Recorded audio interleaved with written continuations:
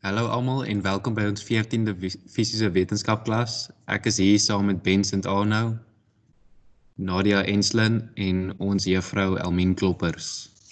Uh ek open vandag met 'n paar nuutskeppings wat ehm um, gemaak is as gevolg van die koronavirus. So uh, ek het 3 hierso. Ehm um, eerste een is uh ramafobie. Die vrees ehm um, wat Suid-Afrikaners het as gevolg van 'n verlengde inperking dan 'n uh, huisjuffrou. Dis nou 'n mamma of 'n pappa wat tydens inperking juffrou moet speel. En dan my gunsteling boutgoud. Uh deesdae is toiletpapier skaarser as goud. So uh ja, ek hoop julle dit snaaks gevind en uh juffrou kan maar begin. Ja, baie dankie Andrei. Baie welkom. Um ons gaan nou in die laaste 3 sessies die graad 11 werk doen waar wat julle verlede jaar gedoen het en vir jaar in julle eindvraestel oorskryf ook. So ons begin vandag met Newton se wette. En toe ons arbeid energie gedoen het, toe het ons dit nodig gehad, maar ons gaan dit nou net weer sorg dat ons al die detail van Newton se wette weet. Ek deel die aanbieding met julle.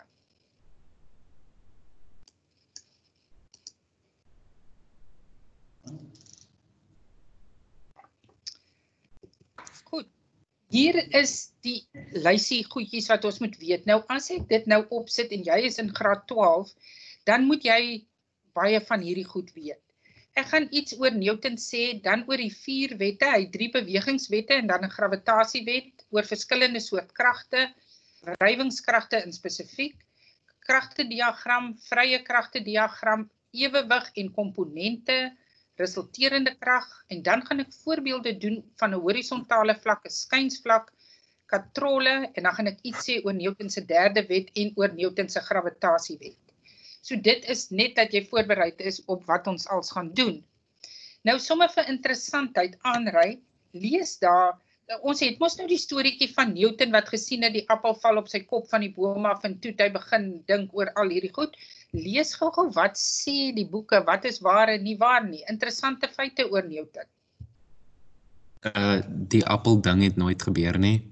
Mm uh Newton se geboorte is opgeteken as 4 Januarie, maar hy is eintlik op Kersdag gebore. Newton is 12 weke te te vroeg gebore en niemand het gedink hy gaan bly leef nie. Hy het gehakkel as kind. Sy hond was die oorsaak dat sy laboratorium verwoes is deur 'n brand en 20 jaar se navorsing was verlore. Ja.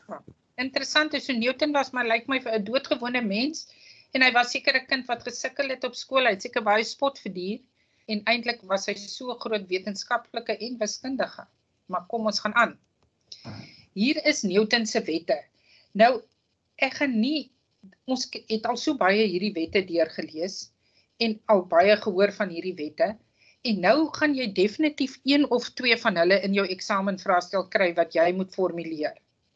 En dit is so moeilik as mens net 'n woordjie uitlaat of net verkeerd sê dan ehm um, kry jy dan is die wet verkeerd, dan is die betekenis verkeerd.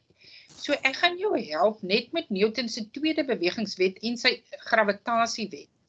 Wil ek net vir jou wys dat as jy hierdie twee formules wat op jou ehm um, tabelle staan. So jy hoef hulle nie eers te leer nie. Jy het die twee formules. Kan jy die hele wet onthou? Want Newton se tweede wet sê wanneer 'n resulterende krag, so dis daai, op 'n voorwerp inwerk, versnel die voorwerp in die rigting van die krag teen 'n versnelling wat direk eweredig is aan die krag en hier kan jy sien hulle is direk eweredig aan mekaar hulle staan weerskante van die is gelykant teken en A staan nie onder die lyn of iets nie.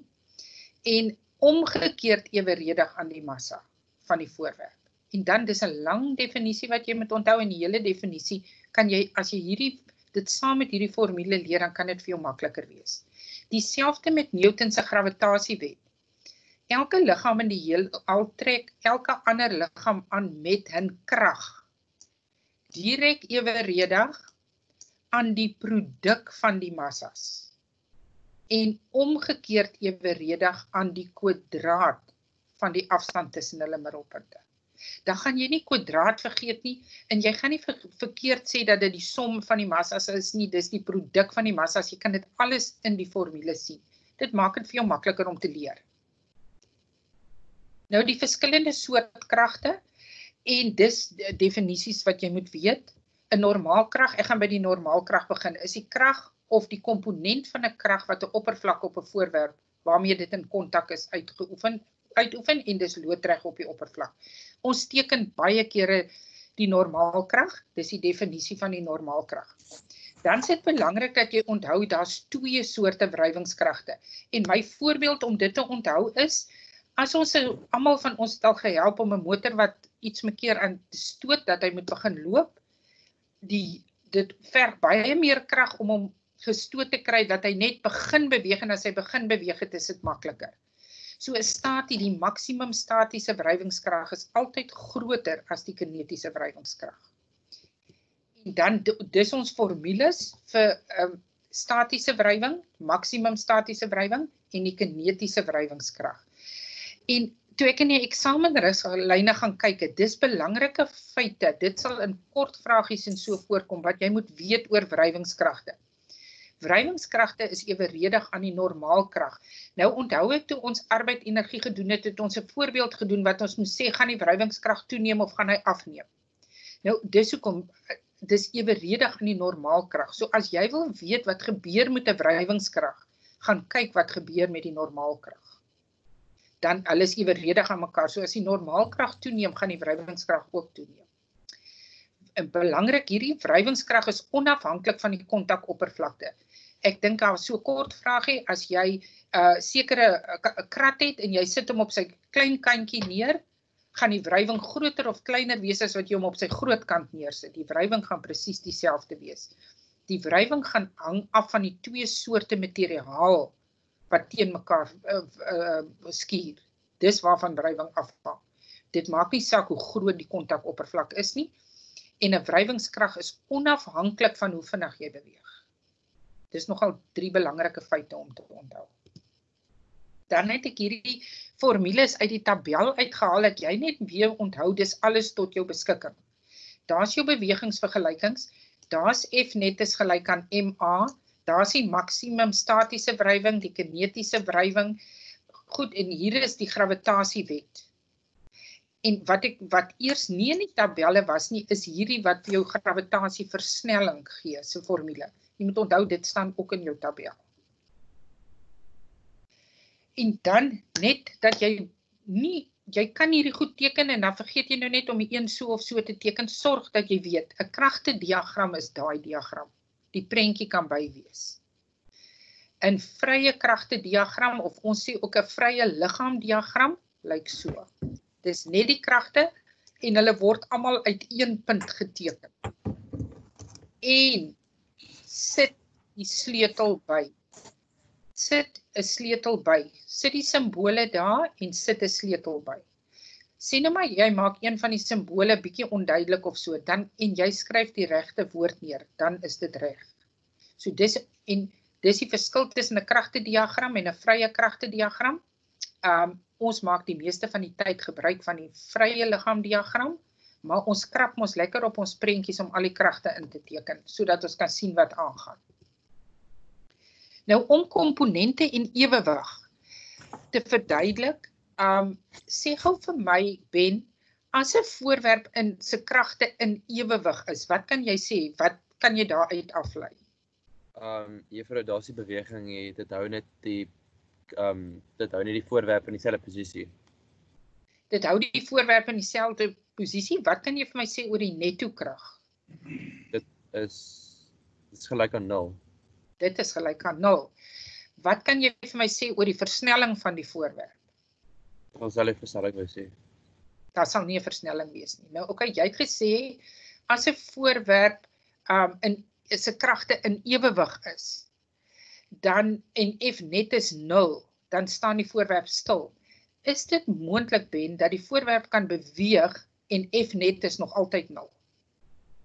Ja, juffrou, as as dit um met gravitasiekrag soos by 'n bult afgaan of iets. Maar dan is daar 'n netto krag. Maar wanneer sal die netto krag 0 wees en die voorwerp sal nog altyd beweeg? Daar staan altyd in 'n som so iets wat ons sê jy moet onderstreep. Jy het vir my gesê die versnelling, daar is nie versnelling nie. So wat wanneer weet ons die kragte is in ewewig, die netto krag is 0. Aanry kan jy hom help.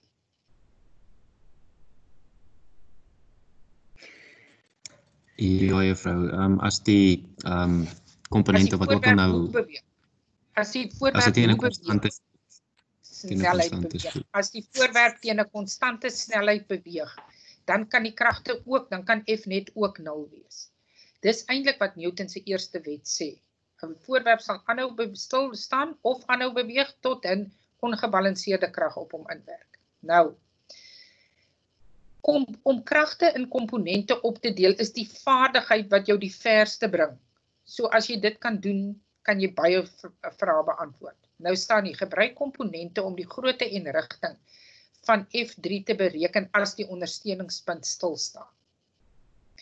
Nou die metode wat ek nou gaan wys is die metode wat ons doen. Daar's ander metodes ook, maar hulle kom almal op dieselfde neer. Die eerste is ons gaan breek die krag in sy komponente op. So, ons daar's die F1 gaan op boontoe. Dan sê ons dis sy x komponent, dis sy y komponent. Daai een se x komponent, y komponent, daar het ons hulle opgedeel. Belangrik dat jy moet kan wys, jy begin by die beginpunt van jou krag. Dan sê jy beginpunt, eindpunt, beginpunt, eindpunt en daai krag is jou resultant want die twee komponente saam moet jou resultant gee. Goed. Aanry, ons gaan nou nie deur almal gaan nie, maar waaraan is die x komponent van F2 gelyk? Waaraan is die x komponent uh, van F2? Wat? Hierdie krag is af. Ja, kan sê? Ehm um, gelyk aan ehm um, F1. O. OK, wag kyk gou hierso, hier's drie komponente. As die bloue die groen en die gele. Ja. Ek ek wil weet in terme van die 800 as ons 'n sommetjie moet skryf. Ehm um, net die x komponent juffrou van hom. Net die x komponent. Ehm um, juffrou dan is dit soos die som totaal van al die x komponente maar ehm um, dan minus jy net die f1 nee, van hom af. Kyk gou so vergeet gou van al die ander kragte. Hierdie krag is 800 newton. Die hoek is 60 grade. Hoe groot is daai x komponent? Hierdie sy is 800. Kan jy onthou dat dit dat die x komponent 800 kos 60 is? Aanliggende sy skyn sy. OK. Nou net om daai weer te kry en die y komponent gaan 860 wees. En hier weet ons nie die hoekie nie want dit dis die vraag. Ek gaan hom so met theta maak. Hulle sê bereken die grootte en rigting van F3. Daai komponent, ons weet daai hoek is 45 grade, so ek aanvaar daai hoek gaan ons nou ook 45 wees. En ons weet daai een is 600 newton. So as ons dit in ons rampie gaan invul. Dis hoe ons dit doen. Ons gaan vul dit in daai rampie in. Dan sê ons F1 se x komponent is minus 600 cos 45. OK, Ben. Waaraan is F1 se y komponent gelyk? Um minus of nee, dis dis 600 sin 45 doodreg 600 sin 45. Nadia, ehm um, okay, ek gaan nou Nadia, jy kan so lank regmaak. Hierdie een gaan wees 800 kos 60, 800 sin 60. Nadia F3. Hoe gaan ons F3 skryf? Sy x komponent. Ehm um, okay, so gaan wees F3 kos theta. Ja, en die y komponent? Ehm um, gaan wees minus F3 Cynthia. Okay, en daai gaan wees dis eintlik al wat ek wil. Ek kan nou net so lelik skryf nie, maar hierna gaan julle die mooi een sien. Ou uh, Cynthia. Cynthia. Ja, okay. Nou, wat gaan hierso staan Nadia? 0 juffrou. Dit gaan hulle moet optel na 0 toe want die daar is nie 'n resulterende krag nie. Goed, so as ons die rampie mooi invul dat almal dan kan sien wat daar staan, Sorg dat jou plusse en jou minusse reg is. Hierdie x-komponent is minus, hierdie een is plus, hierdie een is plus. Daai blou pyl, groen pyl wys daai kant toe. Die geel pyl wys die kant toe. Terwyl die groen y-komponent af is en die ander twee op is. En nou kan jy jou vergelyking gaan skryf. Hierdie x-komponent plus hierdie x-komponent plus hierdie x-komponent moet vir jou 0 gee. Want nou lê hulle almal in 'n reguit lyn. Dit is hoekom ons in komponente opdeel. So daai is jou twee vergelykings is gelyk aan 0, dan kan jy daai gedeeltes kan jy mos nou uitwerk. Jy druk dit op jou sakrekenaar. Dan kry jy F3 cos theta. F3 cos theta is 24,6 as jy dit oorvat en hier kry jy F3 sin theta as jy dit oorvat en met die minus deel is 117,08. En dan kan jy baie maniere van gelyktydige oplos doen, maar moenie die maklike manier vir miskyk nie. As ek hierdie kan deel, dan sin gedeel deur kosmos staan en F3 val weg.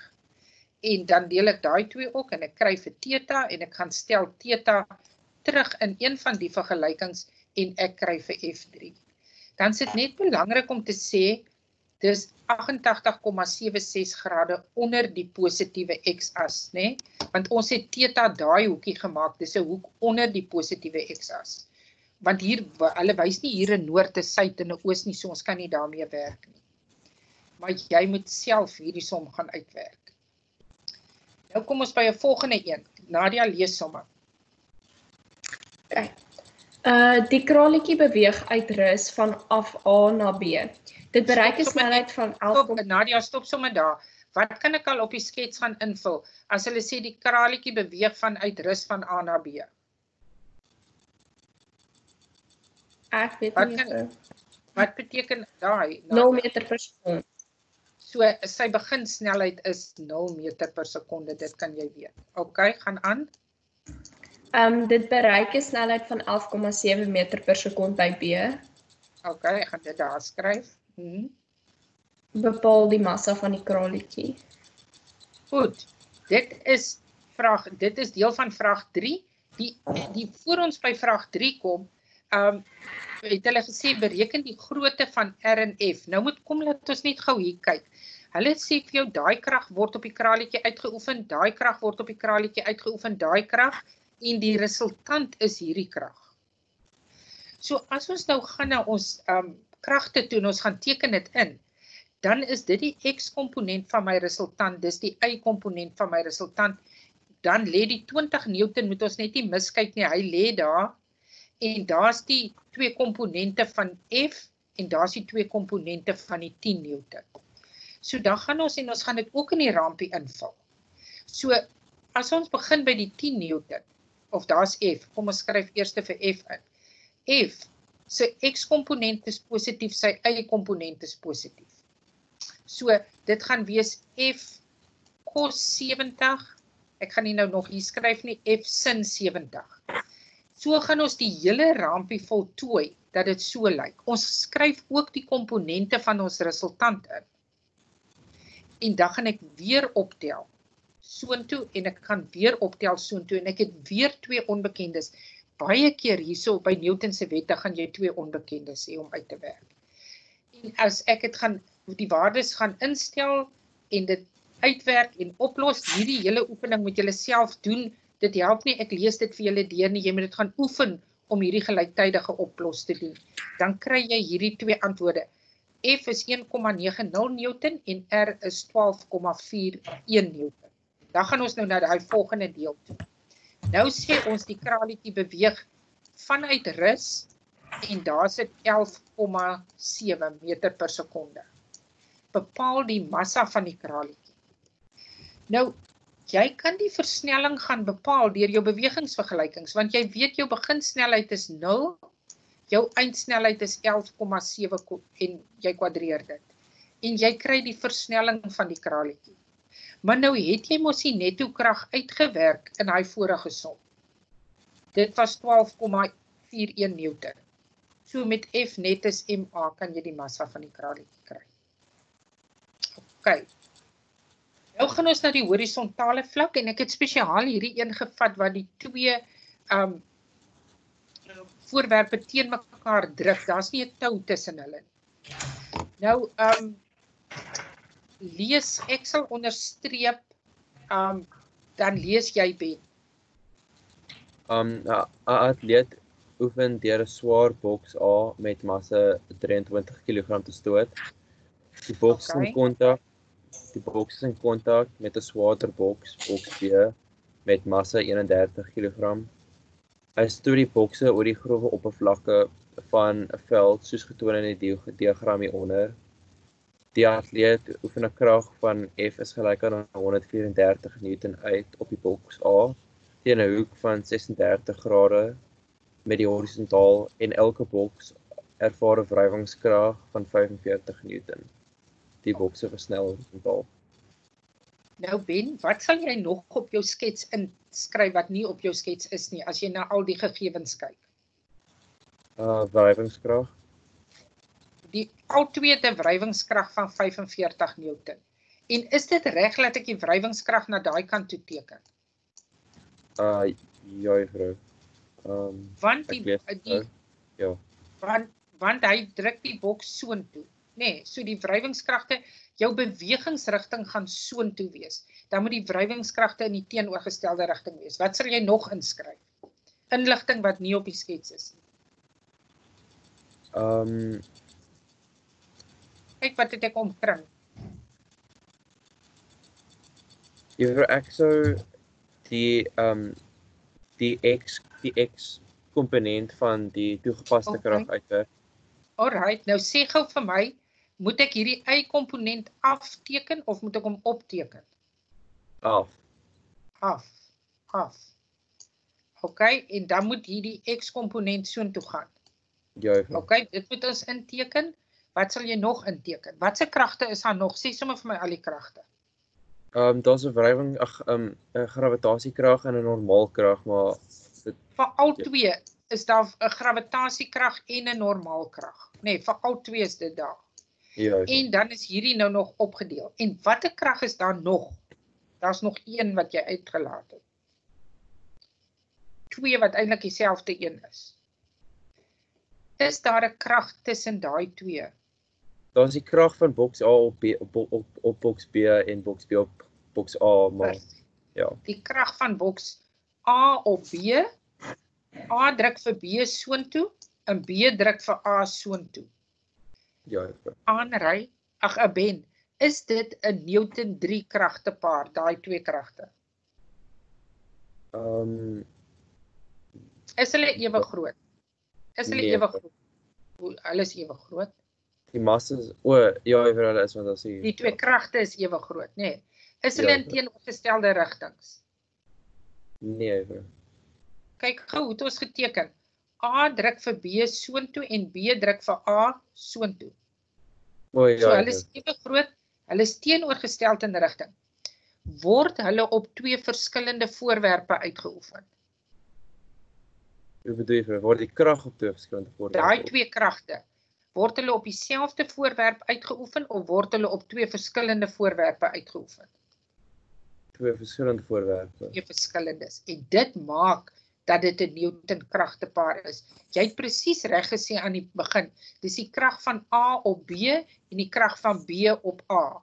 En dit gaan oor daai op, nê. Nee. Soos twee verskillende voorwerpe, so dit is 'n Newton 3 kragtepaar. Hier het ek baie van die kragte ingeteken. Ek het mooi die komponente ingesit. Ek het nog nie al die kragte ingeteken nie. Die vraag is O, ons nou ek het nog net so ver. Nou gaan ons by die vraag kom. Teken 'n benoemde vrye liggaamdiagram vir A en B. Nou Ben, jy het dit nou eintlik klaar gedoen. Daar het jy nou klaar vir ons gesê wat al die kragte is. A sit 'n normaalkrag, 'n gewig, ehm um, die toegepaste krag, die wrywingskrag, die krag wat B op hom uitoefen. En die B het B het 'n normaalkrag, 'n gravitasiekrag, 'n wrywingskrag en die krag wat A op hom uitoefen. So jy het klaar vir ons al daai inligting gegee. Nou sê hulle gebruik Newton se tweede wet om die vergelyking F net is gelyk aan ma te skryf in terme van al die horisontale kragte. Aanry, kan jy nou oorvat? As jy nou Ja. kyk na um A. Hierso is A. Ja. Wat is die horisontale kragte wat A het? Watter kragte Uh, werk op die horisontale vlak in? Die toegepaste krag se uh, X komponent. Die toegepaste krag se X-komponent Ja. en nog wat? Die krag van B op A en wrywingskrag. en die wrywingskrag. So as ons skryf F net is gelyk aan MA, dan gaan ons sê toegepaste krag se X-komponent minus die wrywingskrag minus die krag wat B op A uitoefen. So dit gaan so lyk. En die wrywingskrag is minus 45 en die X-komponent weet ons is F kos 36. So daai is die uitdrukking. Dan sê hulle bereken die krag wat boks B op A uitoefen. Nou hier moet jy onthou of jy nou die krag uitwerk wat A op B uitoefen of B op A uitoefen, hulle is ewe groot. Maar uit hierdie vergelyking kan jy dit nie oplos nie. Want ek dink jy ons het genoeg inligting nie. As ons gou teruggaan na die boonste vraag toe. De, ons het net hierdie kragte se groottes. So as ons hierso moet inskryf uh dan weet ons F is 134, nê. Nee. Daai 134 kan ons hier inskryf. Hierdie Ja. ja. antwoord weet ons nie. Die massa van A is 23 kg, dit kan daarin kom. Maar wat die versnelling is en wat die grootte van daai krag is, weet ons nie. So ons het twee onbekendes in een vergelyking. Dit beteken ons moet nog 'n vergelyking hê. So ons moet dieselfde gedoen vir B. Hoeveel uh, Andre, hoeveel kragte het B horisontaal? Ehm um, drie juffrou, is dit nie? As jy so kyk, net 2, want daai is loodreg op hom. So daai dis daai krag minus daai krag. So as ons vir B gaan skryf, dan gaan ons sê die krag wat B op A uitoefen minus die 45 is gelyk aan MA. So dis daai M is 31 want daai boks se massa is 31. Daai vergelyking het ons vereenvoudig en nou kan ons hulle onder mekaar skryf en ons kan hulle optel en oplos. So ons kry daar het ons die oplossing gedoen en ons kry die krag wat B op A uitoefen is 55,57 Newton en maar ons het eers die versnelling gekry want ons het die gelyktydige oplos gedoen. Hierdie bewerkings moet jy rustig gaan doen. Dis baie belangrik. Goed, nou vat ons die skynsvlak. En ek dink julle kan hierdie som onthou. Nadia, kan jy die sommetjie onthou? Ja, juffrou. Ja, uit verlede jaar se einde. Dink ek kom dit uit julle vraestel. Hier het ons 'n interessante som. Ons het 'n skynsvlak, maar die krag werk trek hom nie op nie. Die eh, krag werk nie af nie. Die krag werk so in. Lees gou vir my Nadia die vraag of daarbo. Okay. In die onderstaande diagram gly 'n krat teen 'n ruwe helling af. Die krat versnel teen 1 meter per sekond kwadraat as gevolg van gravitasiekrag en 'n toegepaste horisontale krag van 50 Newton wat daarop inwerk. OK, en die vraag is wat? Wat vra hulle? Bereken die wrywingskoëffisiënt tussen die krat en die skynsvlak. Nou as hulle sê wrywingskoëffisiënt ben, watter vergelyking moet jy in watter vergelyking kom wrywingskoëffisiënt voor? Ehm um, waar jy die wrywingskrag uitwerk. Jy moet die koëffisiënt met die normaalkrag maal. Dis reg. So hy lyk mos so, nê. Nee. So as hulle vir ons die wrywingskoëffisiënt vra. Jy moet mooi kyk, ek begin nou by wa, wat die vraag is. Hulle vra dit vir ons. Dan het ek die wrywingskrag nodig en ek het die normaalkrag nodig. Waar kan ek nog die normaal die wrywingskrag of nee, sê eers vir my Ben, waar kan ek die normaalkrag kry? Ehm um, jy kan dit kry op die sketsvrou. Jy moet dit maal met O, voor jy hoef nie vir my die antwoord te sê nie. Sê net, gaan ek werk met para, met die kragte parallel aan die vlak of die kragte loodreg op die vlak om die normaalkrag te kry? loodreg vlak vrou. Ag, En om parallel. die wrywingskrag te kry, waarmee gaan ek dan werk? Ehm um, Parallel aan die vlak of loodreg op die vlak? Parallel juffrou. Dis reg. So ek gaan al twee vergelykings moet opstel. Ek gaan nou moet gaan kyk na al die komponente parallel aan die vlak en loodreg op die vlak want ek wil die wrywingskrag en die normaalkrag hê. OK, Ben. Sê vir my wat se kragte werk op die skynsvlakke. Gravitasiekrag. OK, hy loop so. Nê. Nee. OK. Ja. Uh wrywingskrag. Waar hoe sê hoe moet ek hom teken? Dit oh, wag. Ja. Um beweeg dit juffrou, beweeg jy ja, dit so dit gaan die op. onderstaande diagram gly 'n krat teen 'n ruwe gehelling af. Ja, so die wrywingskrag juffrou gaan opgaan soos Die wrywingskrag loop daar. OK. 'n uh, normaalkrag wat loodreg is op die skynsvlak. Wat loodreg so, is die normaalkrag. Um 'n toegepaste krag van 50 Newton juffrou. OK, hy loop hierso, nê. Nee. Die toegepaste Ja. krag loop so. Goed. Nou, ehm um, Ben, watter van die kragte moet in komponente opgedeel word? Die gravitasiekrag en die um normaal en die toegepaste krag Hoekom moet ek die toegepaste krag ook opdeel? want dis nie parallel of loodreg aan die Dit skynsvlak. is nie parallel of loodreg nie. Die wrywing is oké. Okay. Die normaalkrag is reg, maar oké, okay, dit hierdie is nie reg nie. Nou, hoe teken jy die gravitasiekrag se komponente? Um jy vra dit uh, die x nie y maar jy gaan eers daai hoek tussen die blokkie, die skynvlak en die uh vertikale gravitasie um krag uitwerk. OK. So jy gaan sê 90 plus 37 minus 180 en dan En dan- daai hoek. OK. Nou, dis reg, jy's 100% Ek gaan nou vir Nadia vra, ehm Nadia, hoe hoe moet ek teken? Sê vir my, hoe moet ek teken om die komponente van gravitasie te kry? Waar sal jy begin? Okay, juffrou. um juffrou by die blok Ja. en dan skuins na links afwaarts. Waarskynlik so, saam met die normaalkrag. Nee, Ja, juffrou. die normaalkrag en, en is albei loodreg, okay? En dan gaan ek hierso. Ja, Parallel. para- parallel aan die vlak. na die pylpunt toe. So. so. Hierdie krag moet loodreg wees. Hierdie daai lyn en daai lyn moet parallel aan mekaar wees. Hoe groot Ben, nou het jy daai som gedoen, maar hoe groot is daai hoekie nou? Jy- Dit is Nadia, nie jy- maklik. Juffrou, jy kan dit die 37 is die hoek tussen dis dis lood, dis daai hoek juffrou. Ja. Daai dis reg. Met daai som is reg. Nou aanry.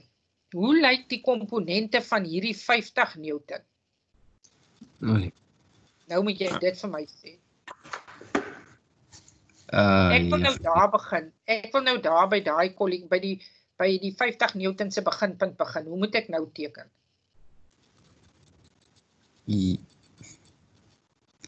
Juffrou, ek het eintlik geen idee nie, maar OK, maar probeer. Moet hy Ah. parallel hier, moet ek parallel aan die lyn teken of parallel aan die lyn as ek hier begin? ehm um, juffrou parallel aan die ehm um, die waar die blok afgly. Nou, as ek nou parallel aan waar die blok afgly moet teken, dan moet ek so teken. Ja, okay. Dit Is gaan nie dit- werk juffrou. So Okay. die loodreg gaan af. Nou sien, dis reg. So dis reg dat jy so ek teken nou so. Daai twee is parallel aan mekaar. En dan gaan ek hierdie een teken wat loodreg is. sien jy? Ja. Dan het ek 'n parallelle komp 'n loodregte komponent en 'n parallelle komponent. OK, ek het nou lank tyd aan dit spandeer want dit as jy net daai kan reg teken, daar het ek dit ingesit al die kragte en daar het ek die komponente ingesit. Daar's die parallel loodregte komponent, die parallelle komponent, loodregte komponent, parallelle komponent. En hierdie hoekie is 37 grade. Nou, um Andre, hoe groot is daai hoekie? As jy nou Ehm, wat- mooi kyk. Ek maak nou vir jou daar 'n teken dat jy kan sien. So, so, so. Okay, juffrou, dan moet hy mos ook 37 wees. want hy is verwisselend, dis 37. En dan kan jy jou komponente gaan skryf. Onthou, ons moet met die horisontale uh, parallel aan die vlak werk en ons moet loodreg op die vlak werk want ons wil die normaalkrag kry en ons wil die wrywingskrag kry. So dit is hoekom ons dit gaan doen. So saam met die vlak het ons die wrywingskrag, ons het daai blou komponent wat opwaarts wys en ons het die gravitasie se x wat afwaarts wys. So ek sê dis gravitasie parallel minus die toegepaste krag se parallelle komponent want hy wys op minus die wrywingskrag is ma. So as ek dit gaan invul dan weet ek die blok is 10 kg Die gravitasiekrag is maal 9,8 sin 37 want onthou nou die 37 sit daar. So hierdie komponent is die teenoorstaande sy. So dis sin 37 in hierdie een is sin 50. Daai's 50. O nee, kos 50. Dis kos 50 want die 37 lê daar minus die wrywingskrag. Die die die blou een en die rooi een moet minus hê want hulle gaan op teen die vlak net hierdie een gaan af teen die vlak is gelyk aan 10 maal 1 want ons moenie vergeet nie hulle het vir ons die versnelling gegee. En daar kry ons die wrywingskrag. As ons loodreg vat, dan het ons drie kragte, 1 2 3. En dis die normaalkrag minus die gravitasie loodreg minus die toegepas loodreg. En in die geval is A 0 want daar's nie beweging in daai vlak So as ek al die waardes gaan instel, dan kry ek my normaalkrag. En nou het ek my wrywingskrag al gekry by die vorige deel en nou kry ek my normaalkrag en dan gaan stel ek dit in my vergelyking en dan het ek um dan sien ek my wrywingskoëffisiënt is 0,08. Goed. Kom ons vat net, ons gaan net die kragte en goed hier inteken kom ons vat dit gou van 'n kant af. Um Andrei lees vir my asseblief. Blok A met massa 5 kg is vasgemaak aan blok B met 'n onbekende massa. Die tou wat die blokke verbind is onrekbaar en gewigloos. Die tou span oor 'n wrywinglose katrol soos hieronder aangetoon. 'n uh, Toegepaste krag F werk teen 'n hoek van 30 grade relatief tot die horisontale oppervlak op op blok A in. Die blok versnel teen 2.2 meter per sekond na regs oor die grofwe horisontale oppervlak. Nou, die spanning in die tou uh, hmm? Die spanning in die tou? Hm. Kan gaan juffrou. Okay. Die ja. spanning in die tou wat die twee blokke verbind is 36 newton. Die koëffisiënt van kinetiese wrywing tussen die oppervlak en die en blok A is 0,35. Goed, so hier staamlik inligting wat nie ingeskryf is nie. Ons kan die 0,35 daarso skryf. Die 36 Newton wat die spanning in die tou is, moet daar kom. Hulle wys vir ons die versnelling, die beweging is na regs. Hulle gee vir ons die versnelling. Nou net so vir 'n um Andrei, sê gou vir my die kragte voor ons gaan kyk wat vra hulle, nê. Nee. Hmm. Wat is die kragte wat op B inwerk? um net die spanning aan die tou en gravitasiekrag. OK, die spanning in die tou en gravitasiekrag, hy daai twee kragte. Wat is die kragte wat in op A inwerk? Ook die spanning in die tou en gravitasiekrag. Wat kan toe wys? Wat kan toe wys die spanning in die tou na links of na regs hier by A? Na links. Na links, so dis soontoe. OK. En wat watter kragte nog? Gravitasiekrag en normaalkrag. OK. Die wrywingskrag. Na links of regs? Ehm um, na regs. Ek weet nie waar waartoe versnel die blok aan nie. Kyk aan, hier staan dit. Wel, kyk nee, dan wrywingskrag ehm um, na links. Die wrywingskrag na links en, en dan, dan nog die toegepaste krag. Klaar, dit, nee. ja. OK. Baie lelike prentjie, hier's 'n mooier prentjie waar al die inligting in staan. Al die kragte wat daarop inwerk, die gravitasiekrag, normaalkrag en dan is dit al krag wat ek in komponente gaan opdeel het. Ek het net daai da krag in sy komponente gaan opdeel. Nou somme net um Nadia waaraan is die normaalkrag ek dis net 'n vragie wat ek vra die normaalkrag van hierdie blok A waaraan is dit gelyk? Jy hoef nie 'n antwoord te gee nie net in terme van kragte waaraan is die normaalkrag van A gelyk? Juffrou, ek verstaan nou nie mooi wat juffrou bedoel nie. As jy nou as jy met die normaalkrag moet uitwerk, wat anders moet jy in berekening bring? Is die normaalkrag gelyk aan die gravitasiekrag? Hmm. Nee, nee, in die sin nie. Nie in die som nie, dis eintlik wat ek wil hê want daar's nog 'n y-komponent. So die normaalkrag plus daai krag moet gelyk wees aan gravitasiekrag. Hoekom? Ja, okay. Kom ons gaan aan. Hulle sê al daai inligting het ons nou op die skets. Nou sê hulle ons moet die massa van blok B bereken. Nou by blok B weet ons nou daar's ons weet daar's twee kragte wat op hom inwerk en ons weet die versnelling is 2,2. So as ons begin met die goue woorde van F net is gelyk aan MA. Dit is bietjie donker. Dan weet ons dis die tou. Ons vat dit as positief want die beweging is soontoe minus die gravitasiekrag. Dan kry ons die massa van B is 3 kg.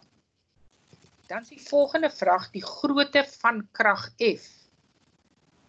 Nou wat sal jy gebruik om die grootte van krag F uit te werk? Enige voorstel? Nadia. Ehm um, juffrou, ek sal ook met F net is gelyk aan MA werk parallel aan die vlak. Nou as ons parallel aan die vlak vlak werk, gaan ons daai krag vat minus die wrywingskrag minus T. Is dit reg? Ja, juffrou. So as ons ehm um, as ek wil net gou ons moet sê dat hier is wat ons nou gesê het F net is die x komponent F kos 30 minus die wrywingskrag minus ehm um, minus die krag in die tou is gelyk aan die massa maal die versnelling. Maar die wrywingskrag kon ons gaan uitwerk het want hulle het vir ons die wrywingskoëffisiënt gegee. Dan is al onbekende wat ons het is F. Dan is al onbekende wat ons het F en so kry ons dan die uh, F is 43,2 Newton. Nou wil ek net vinnig oor die kragte Newton se derde wet iets sê. En dis tog my vragie wat ek jare elke jaar vra. Um aanry ek vra hom nou vir jou. Hoekom kanselleer die twee kragte van 'n kragtepaar mekaar nie uit nie? Kom ons sê daar's in hierdie geval 'n krag van Pokkie op die sitplek en die sitplek op Pokkie. Hoekom Ja. kanselleer hulle mekaar nie uit nie? Ehm Want hulle is ewe groot, hulle is teenoorgesteld in rigting. Wat is die rede die krag van die sitplek op Pokkie Pokkie op die sitplek? Nadia, Juffrou. help dit weet. sê maar Juffrou, die kragte werk op twee verskillende voorwerpe in. dit is die woorde. Jy mag dit nooit vergeet nie. 'n Newton 3 kragtepaar kan nie mekaar uitkanselleer nie want hulle werk op twee verskillende voorwerpe in. Net kragte wat op 'n voorwerp inwerk kan mekaar uitkanselleer. Dis die belangrikste wat ek wil hê jy moet van Newton 3 onthou. Daar's nog baie ander goed wat ons sê, die formulering staan aan die begin van die les. Dis doodreg. Dan die gravitasiewet. Wat sê elke uh twee liggame in die heelal oefen 'n krag op mekaar uit. Um wat direk eweredig is aan die produk van die massas en omgekeerd eweredig aan die kwadraat van die afstand tussen hulle. Nou vra ek Ben, as die een massa verdubbel, wat gebeur met die krag? As ons die een massa verdubbel, hierdie een maak ons nou twee keer so groot. Wat gaan met hierdie krag gebeur? Dit gaan nog 'n bietjie groter raak. Hoeveel keer groter? Ek um As ons hier met sê gou, ek val jou in die rede. Nee, as hy hier- Ja, hy word hier twee keer groter. Hoeveel keer gaan hy hier groter word? dis juffrou is dit direk evenredig. Hulle is direk eweredig. Um So as ek hier met 'n 2 maal aan die kant, wat gaan met hierdie antwoord gebeur? Juffrou Gaan gaan hy- twee keer groter raak of twee Ja, keer sy, dis reg. Hy gaan twee keer groter Ja. word. Nou Ben, as ek hierdie massa twee keer groter maak en ek maak hierdie massa ook twee keer groter, wat gaan dan met die krag gebeur? hy gaan vier keer groter raak. OK. Dis reg. Um aanry. As ek die afstand groter maak. As ek die afstand tussen die twee voorwerpe verdubbel, Ja, gaan juffrou. die krag groter of kleiner word. Hy gaan kleiner raak, juffrou. Hoeveel as ek hom as ek die afstand verdubbel, ek maak die afstand 2 keer groter, hoeveel keer word die krag kleiner? 4 keer kleiner, juffrou. Hoekom sê jy 4 keer? Want die an- want die radius is gekwadreer. Want die radius is gekwadreer. Dit is die belangrike ding. En dan wil ek nog een ietsie sê. As ons 'n uh, grafiek teken van krag teenoor M1 maal M2. Dis 'n direkte eweredigheid. Is nou 'n reguit lyn al lyk dit nie so nie. Dit gaan so lyk. As ek 'n krag as ek 'n grafiek teken van krag teenoor R kwadraat. Nadia, hoe gaan dit lyk? Ehm um, juffrou soos 'n hiperbool. soos 'n hiperbool. Nadia, dit's nou die laaste vraag. As ek wil hê hierdie grafiek moet 'n reguit lyn wees, dan moet ek krag teenoor wat teken? Hy. Kyk nou dan baie lelik. Krag teenoor Juffrou wat? Krag teenoor 1 op r kwadraat. 1 op r kwadraat. Dan gaan dit vir my 'n reguit lyn gee. Baie dankie. Ons is nou aan die einde van Newton se wette. Ons is vinnig daardeur, maar ons het die verskillende situasies probeer hanteer. So gaan terug en gaan doen self elkeen van daai somme. Teken self die kragte in en werk parallel aan die vlak, loodreg op die vlak en met F net is gelyk aan MA, dan behoort jy baie ver te kom. Baie dankie.